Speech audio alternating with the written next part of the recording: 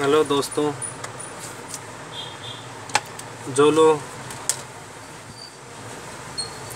Q सात सौ S plus Q सात सौ एस प्लस में अगर चार्जिंग की प्रॉब्लम आती है और चार्जिंग का प्लस का पॉइंट अगर डैमेज हो जाता है तो हम उसके लिए हमें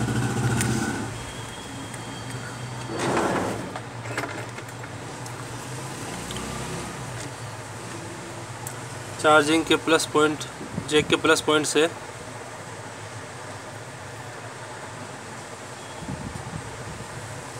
आपको एक जंपर लेना है इसके प्लस पॉइंट से, और ये जंपर आपको यहाँ लगाना है।